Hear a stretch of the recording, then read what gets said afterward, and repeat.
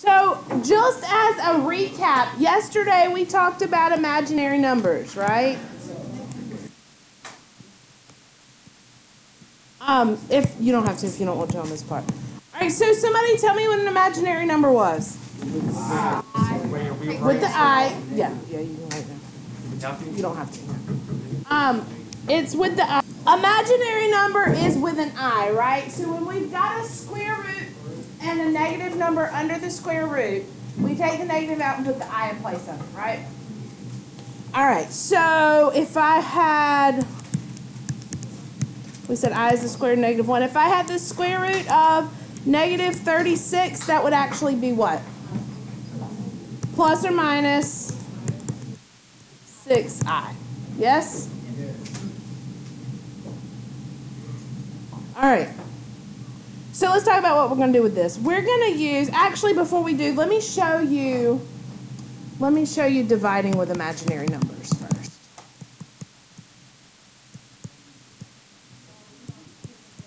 So this is new.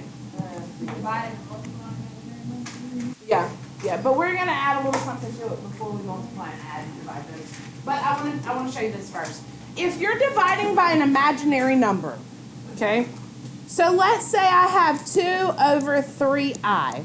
Why is that a problem?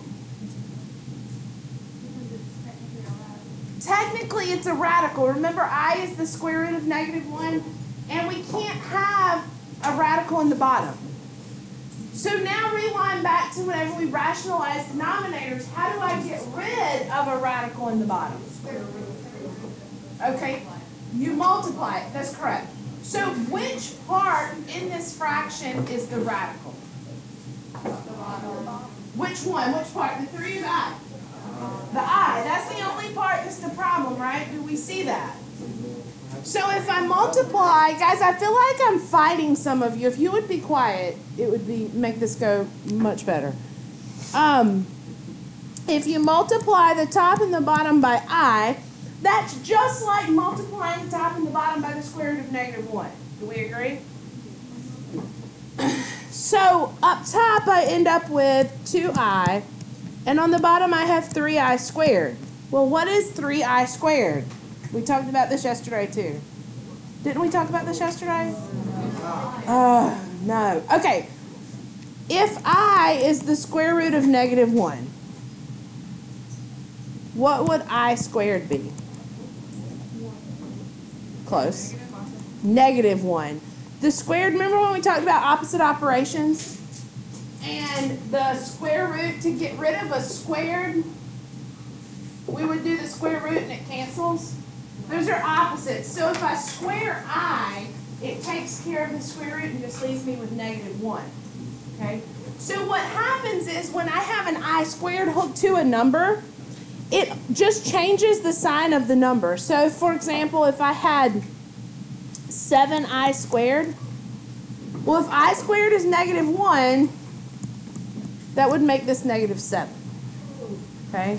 If I had negative 4i squared, that would really be positive 4. Okay? So it drops and changes the sign is essentially what it's doing.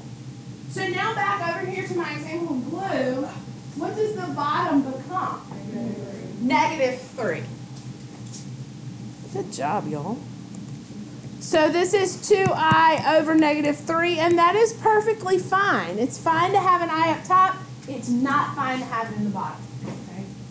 So when you see an imaginary in the bottom, then you multiply the top and bottom by i. We're going to use imaginary numbers to, to form what we call complex numbers. And this is kind of what we've been trying to get to in this section is the complex number part. So a complex number has two parts. It has a real number part, and a real number is just exactly what you're always used to. It's any number, two, five, a half, whatever. It's just a regular number that you're used to. And then to it, we're going to add, and I'm going to put plus or minus because we could subtract. We're going to add or subtract an imaginary number. And together, they're going to make a complex number. And this sounds complicated, but really, uh, I mean, 2 plus 3i, that's a complex number. Negative 4 minus 7i, that's a complex number. Okay? All those are complex numbers. It's got the two parts there. Does that make sense to everybody? All right. so what we're going to do today is we're going to do operations with complex numbers. We're going to add, subtract, multiply, and divide complex numbers like this.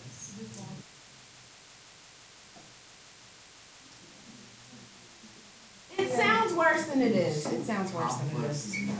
Take a, br- a deep breath. I know it's Friday, but we're just going to push through it. I told y'all we could go through it yesterday or chunk it out. It is. It's a lot. So we'll, we'll do it today. It's fine. All right, so you've got to be able to recognize the difference in complex and imaginary. Complex has two parts, imaginary just has one. Okay? All right, let's add complex numbers first. So I'm going to do four sections. This is section one.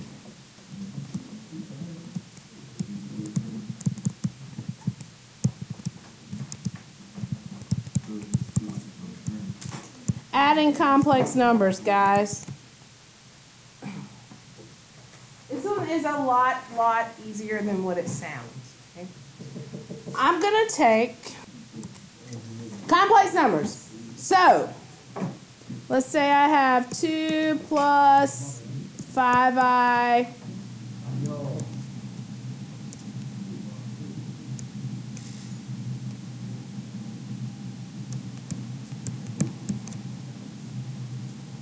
If these were not i's and these were x's, what would you do?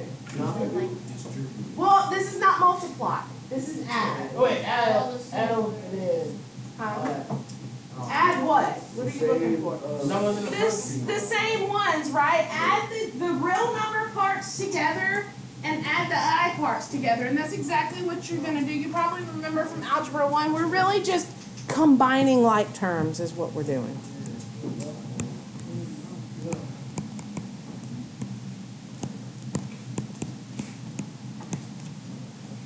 So I have a 2 and an 8, which together would give me what?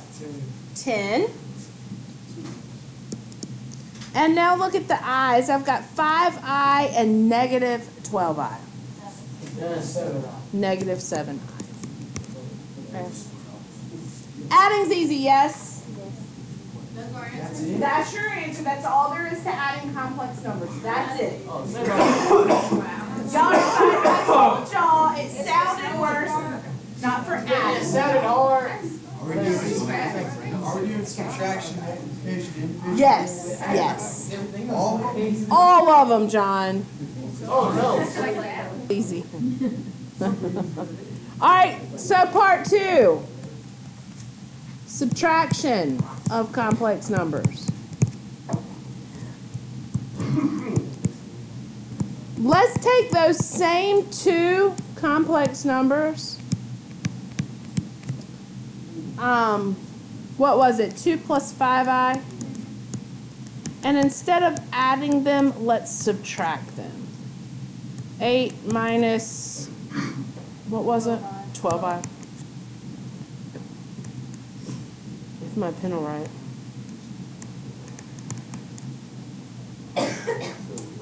So, this is a little different because I'm subtracting in the middle, okay? So, when you're subtracting, I'm going to do something a little bit different. Um, and you've, I'm sure that at some point you've heard of this as well. I'm going to do, and this time I'm going to look at whole sets of parentheses. I'm going to do same, yep, change.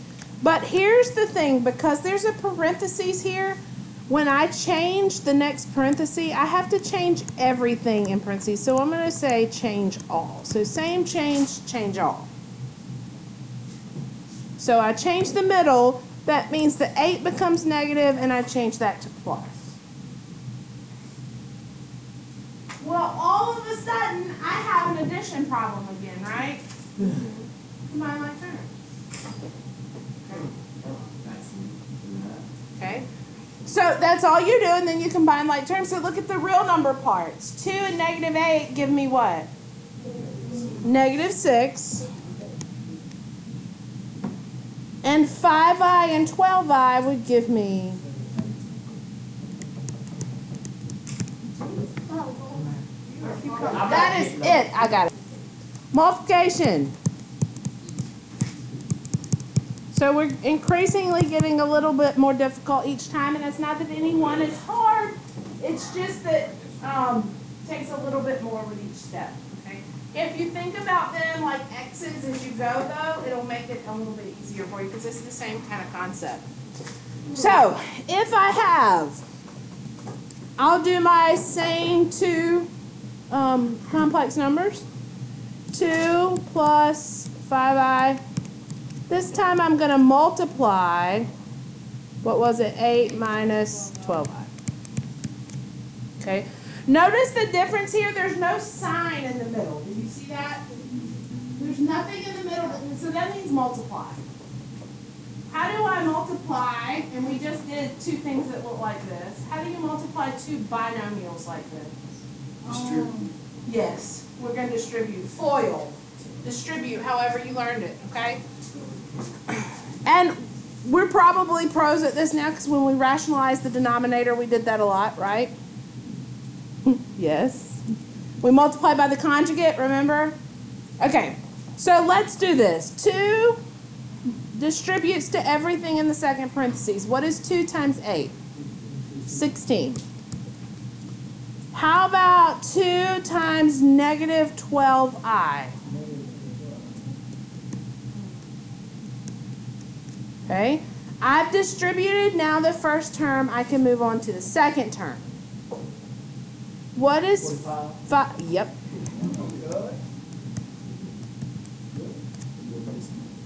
And now the two last terms, 5 times negative 12i. Ah, I'm sorry.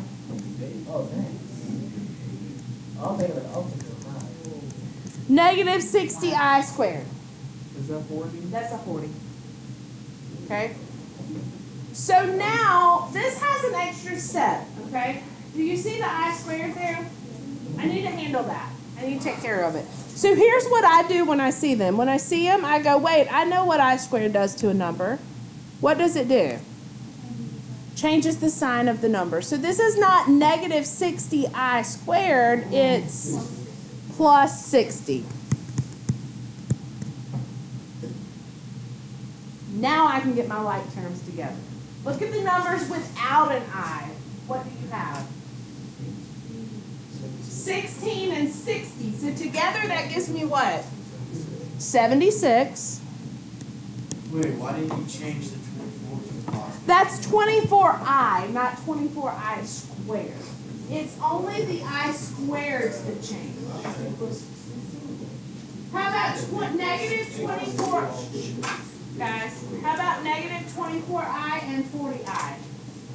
16i. Positive because the bigger one's positive. That's it. That's your answer. Negative 3 minus 5i times 2 plus 4i. All right, first terms. Take the three and distribute it. What do you get? We're still multiplying. We'll do division next. What do you get? Six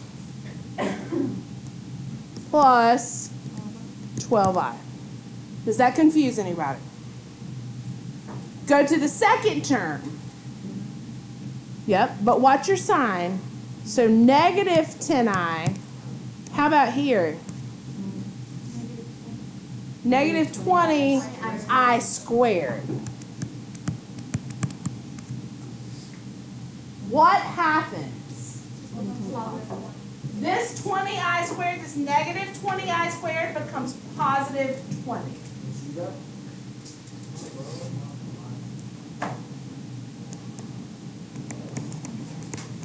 So now look at your real numbers. I got a 6 out front and a 20 on the end. What do I have? 26. You've got a 12i and a negative 10i plus 2i. Easy? Nothing new. It's just the only new part is the i squared part, really. Okay? All right, one more. Y'all stay with me. One more, one more. Uno más, uno más. One more. Division.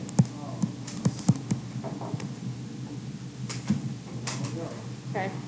Let's do our same. 2, 2 plus 5i divided by 8 minus 12i. What's the problem with my fraction? There's a. There's a radical on the bottom. Okay? I need to get rid of it, but this time, this looks, it's not just an imaginary bottom. If it's just an imaginary, I just multiply by i and that's easy. This is a complex on the bottom. So I'm adding or subtracting a radical. So rewind back to when we were rationalizing denominators. How did you get rid of it? Multiply it by its conjugate. Remember? What's a conjugate? 8 plus 12i. Change the sign. Okay, so top and bottom conjugate.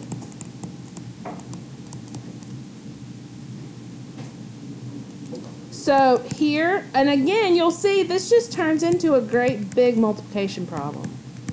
If I do it to the bottom, I've got to do the same thing to the top. Okay? It becomes a double FOIL problem. I got a FOIL up top, I got a FOIL down below. Y'all ready? No. All right. The sign in the middle changes.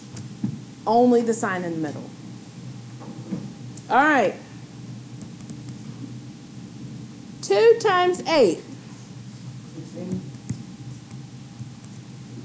2 times 12i. 5i times 8. And 5i times 12i. I'll come back and take care of those i squareds in just a minute. I'm gonna go, I'm gonna go ahead and FOIL out the bottom while I'm here.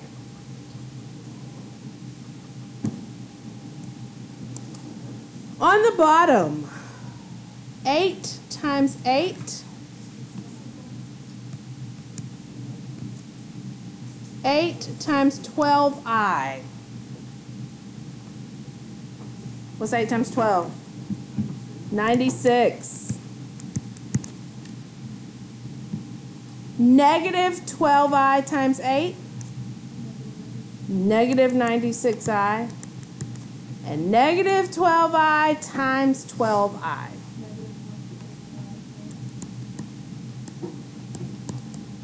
I told you this is not, it's not the division is hard, division is just involved, okay? And all of them aren't gonna have a complex up top. This might just be two over eight minus twelve i. But you still have to do the conjugate because of the bottom. You've gotta get it out the bottom. All right, let's look. I'm gonna go ahead and take all my i squareds, and that's gonna be the first thing I do. I'm gonna scratch them out and change the sign. So 60 i squared becomes negative 60. And negative 144 i squared becomes plus 144. Up top. Now we're going to combine, yep. Up top. Real numbers. I've got a 16 and I've got a negative 60. What does that give me? Negative 44 right? That's this and this together. How about the i's? 64 I. Um, I've got a question. Yes, sir. How does sixteen divided by sixty-four equals negative forty-five? Sixteen minus sixty.